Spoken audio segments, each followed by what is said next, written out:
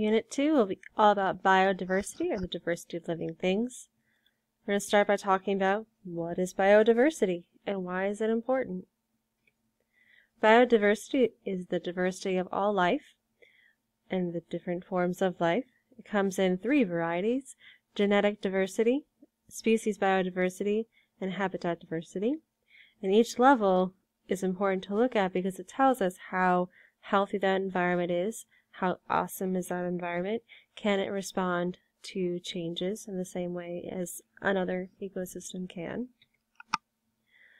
Right. Genetic diversity is the lowest level. It looks at individual differences in genes. So within a species, how can they be different? So in other words, alleles. Um, what are all the different flavors of genes? More variation is always going to be better because they can withstand an environmental change much better. So let's say a disease comes through and there's a not a lot of variation. Maybe, for instance, a crop that's all the same. They're all a monoculture, as we'll discuss. They are going to be less likely to survive that disease because they're all the same. So if one's affected, they'll all be affected. But if there's differences, there's more of a chance that someone out there will be able to fend off that disease and survive. Species diversity is the next level. It looks at how many different types of species there are. We also call this species richness. The higher the number, the more productive that environment or that ecosystem is. So in other words, more stuff that can be made through photosynthesis. The more resilient they are, and the better able they are to recover from sort of disturbance. Ecosystem diversity is the highest level. It looks at how many different types of ecosystems we have, how many habitats are available, how many niches are, you know, in that environment um, for animals and plants to settle in and find their, their role. Greater number means a healthier environment. So next we're going to talk about environmental stressors. Um, so the different types of things that it can impact environment and um, this is why it's so important to have genetic diversity because they're better able to um, respond to those stressors. And we'll also talk about a population bottleneck since that can lead to significant loss of genetic diversity.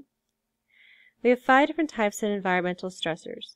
There's climatic, so there that could mean extremes of temperature, lot sun, wind, moisture, um, or it could mean very little. So the opposite end, very cold, very dark, um, no wind at all, no rain or precipitation. Chemical stressors are those things that um, it could be a chemical that they need to survive and they don't have enough of it, or a chemical where really high levels are toxic.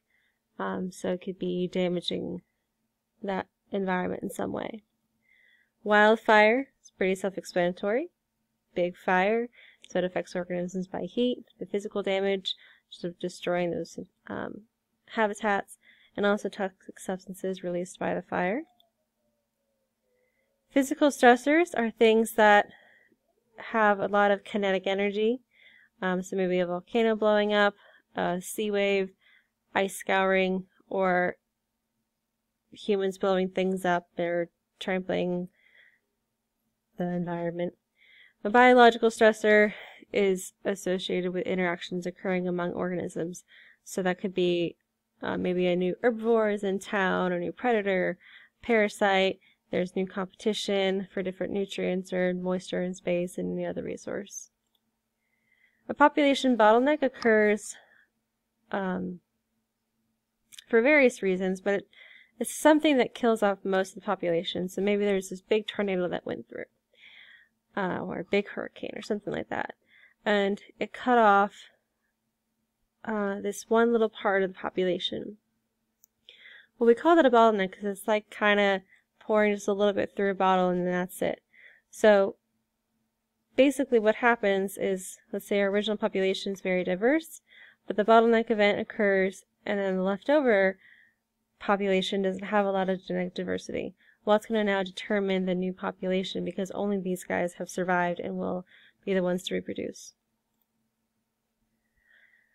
Uh, loss of habitat leads to a loss of specialist species, then followed by generalist species. Also, without habitat, uh, it greatly impacts those organisms that have a large territorial requirement, so they need a big space, and then something has happened where they don't have that space, and then they are sad.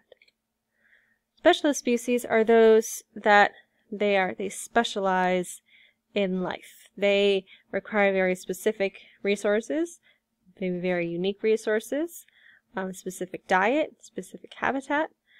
They are the most likely to become endangered or threatened or, or extinct because they are so needy. They just need all the things to be just right. And if things aren't just right, they're like, well, I'm dead now. Depressing. For example, the tiger salamander. He's so cute.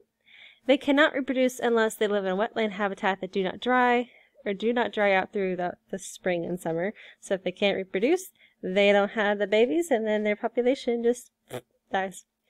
They also require an abundance of insects and worms for their diet. So they're, they just need all the things. Things like panda bears are another species. Pretty much all your big mammals, um, they have very specific requirements to be alive. So that's why it's harder for them to be alive. It's actually. Generalist species are those who are like, what's up, man? I can, I can live through it all. Like raccoons. You may have noticed that you can go all over North America and find a raccoon because they can just live about anywhere, eat about anything. They're very successful, so they can have very high population numbers. These guys are not in any danger anytime soon. Alright, moving on to how we measure biodiversity. We measure it through richness and evenness. Richness refers to the number of different species found in an organism, whereas evenness refers to the relative abundance of individuals within that species. So let's look at two communities of shapes. Uh, this community 1 has a richness of 4 because it has four different types of species, whereas community 2 has two different, or sorry, three different types of species, so it has a richness of three. Uh, and then evenness, we would look at the in like how many individuals are in each uh, within each species. And if it's relatively the same, we'd say it's pretty diverse. If, for instance, in community two, there's a large number of one species compared to other species, we'd say this is not diverse at all. So community two is, in general is not very diverse. It's only got three species. One of those species is like all over the place. So community two is not diverse. They're much less likely to withstand disturbances as community one is. Uh, and this is another example. They have the same richness, so they have the same number of different types of species, but they have different evenness. So even though they have, they both have four different types of trees, Community 1 is way better because they're, they're more even.